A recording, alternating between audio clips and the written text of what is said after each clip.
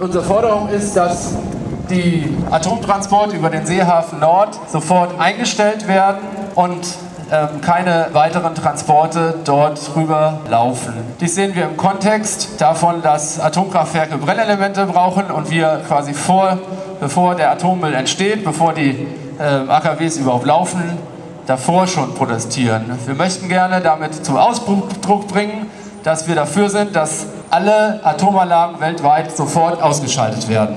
Und in dem Sinne wünsche ich uns eine schöne Demo. Ja, ich will heute schnell fahren.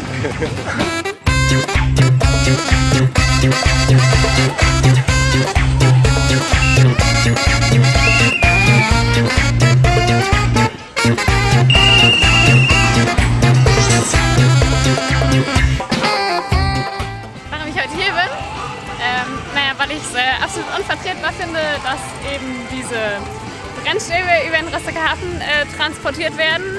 Und eigentlich wollte ich ja natürlich schon letzten äh, Freitag, also letzte Woche Freitag hier lang fahren. Aber da die Polizei und das Ordnungsamt sich ja äh, nicht darauf einigen konnten, sich an äh, irgendwelche vorherigen Absprachen zu halten, hat sich das Ganze eben ein bisschen hingezogen. Ne? Und dann werde ich halt jetzt hier meinen Ärger und meine Empörung kundtun.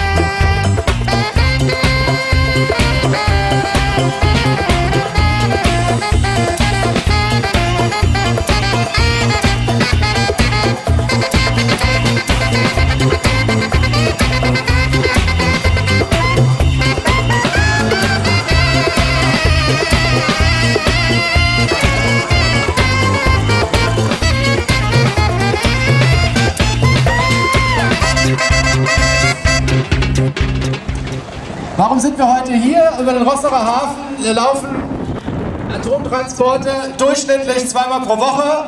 Und zwar gibt es zwei Fähren, die dafür gekennzeichnet sind als Gefahrentransport. Die eine ist am Mittwoch um 13.45 Uhr und die andere ist am Sonntag um 13.45 Uhr und fährt gerade hier neben uns ein. Diese Uran-Hexafluorid-Transporte, die kommen und gehen zumindest in Deutschland ganz oft nach ähm, Kronau bzw. nach Lingen. Kronau ist die Urananreicherungsanlage, in Lingen ist die Brennelementeproduktion. Diese beiden Anlagen waren jetzt in dieser Atomdiskussion gar nicht drin, weil in diesem Atomausstiegsdiskussion ging es eigentlich nur um die laufenden Atomkraftwerke und nicht um die ganzen anderen Anlagen, die jetzt im Vorhinein und im Nachhinein zu der ganzen Atomspirale gehören. Diese selbe Anlage steht eigentlich auch im Iran und da gab es vor ein paar Jahren auch ganz viel Wirbel drum, weil es immer hieß, irgendwie man darf dem Iran keine Chance geben auf Atomwaffen. Und deswegen wollte man unbedingt, dass die, genau diese Anlage, die deutsche Industrie dort gebaut hat, äh, verhindern. Aber dieselbe Anlage steht in Deutschland. In Deutschland steht eigentlich auch im Grundgesetz drin, dass man keine Atomwaffen haben darf in Deutschland. Es gibt zwar ein paar von den Amis, aber das scheint auch nicht so groß zu stören. Aber im Prinzip gibt es da auch ein paar ähm, Anlagen, die sozusagen auch eigentlich Atomwaffen produzieren können oder atomwaffentaugliches Material. Nur das scheint in Deutschland auch nicht groß das Thema zu sein. Und diese militärische und zivile Nutzung, die war eigentlich im Atombereich ganz immer eng verwoben miteinander und nie auseinanderzudenken.